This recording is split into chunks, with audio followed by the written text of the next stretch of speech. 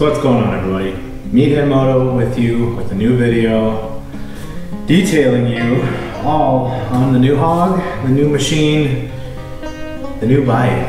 So if you haven't seen any of my recent like shorts, you know that you might not know this, but this is my brand new to me 2019 KTM 1290 Super Adventure S. So I sold the Harley, and I know I'm probably going to make quite a few of you upset. I've seen that I have lost a few subs because of the change, but it, I knew it was going to happen. I love the bike as much as all of you had, but I felt like it was time for a change. It was time to try something different.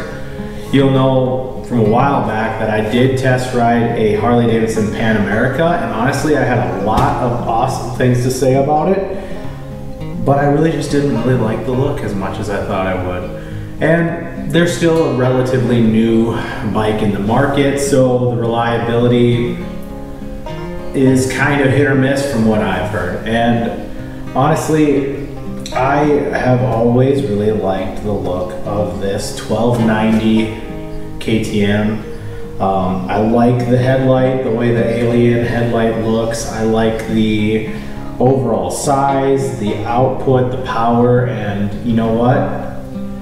When I found one for sale, uh, just driving by, I had to do my best to see if it would work out. And after selling my bike privately to make some more money than um, I would have if I tried to trade it, I decided that you know, I was not going to give up riding. I know that is a very common trope, especially with new dads. My wife and I had twins over winter on Dece in December, and um, it is a pretty common trope that when dads get kids, all of a sudden their toys go away for a while. And my wife would have killed me if I had given up on riding. So and honestly, I never really wanted to give up riding, but I was planning on taking the year to be like, let's see what we can find. Let's test ride some bikes over the year, you know, over the summer and see what we can find and see if anything really tripped my trigger. But with a promotion at work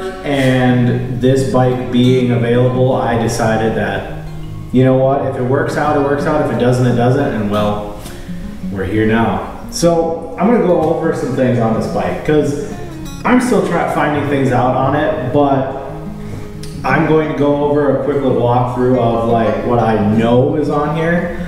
So the brush guards are on here. These are Rottweiler Performance uh, mirrors, uh, Puig uh, sports screen, I believe.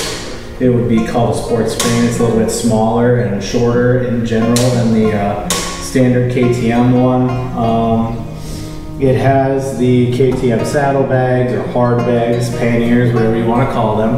And then an Akrapovic exhaust that originally came with de decibel killers in there. I went and did the uh, hack and slash method that if you saw a couple shorts ago. Um, to take the decibel killers out, it honestly was the easiest way to do it and just cleaned it up. Sounds amazing, sounds way better than it did with the decibel killers in. You get a lot more pops and uh, when you decel on this, and so far, I have about a tank of gas through it, and this is honestly, dare I say, one of the best bikes I have owned, and I that may be early, early talking, to be honest with you. It could be completely changed in six months or after I have at least a thousand miles on it. But from the times that I have gotten to ride it to work, it is set up so amazingly for the price point. So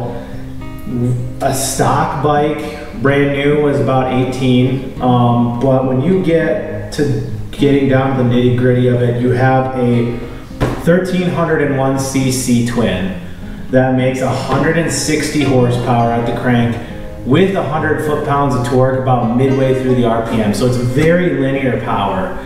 You have four ride modes, at least on this one I have four ride modes. You have sport, street, uh, rain, and off-road. Same with the suspension. The suspension is an electronically adjustable one, so it electronically adjusts the rear suspension depending on how much load you're putting on it, as well as the front.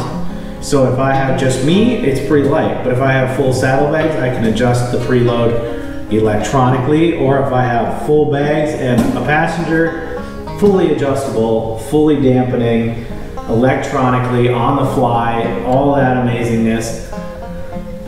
It is sweet. And I wish that this bike didn't have the, I guess, the stigma that it's a very dad jeans, very, I guess you could say old, old man bike in a way, but it's not quite the old man bike like a Harley is or anything like that. I am very much so happy with it at this point, and I hope you guys stick around for the channel to see what else we do with it. I'm excited to go on some trips with it if I get the opportunity. Right now with a couple of four month old babies, it's a little bit harder to find time to uh, go out and do something like that for a long weekend, but it's not out of the question. Um, I'm really, really, really happy that this came together. Um, it has been a very enjoyable bike and I hope you guys actually will stick around for the channel. I still love Harleys. I'm still gonna be riding Harleys. I mean, I, was, I have a bunch of buddies that still are gonna hound me whether I'm not or not I'm gonna get another Harley, and that really depends on where things are financially.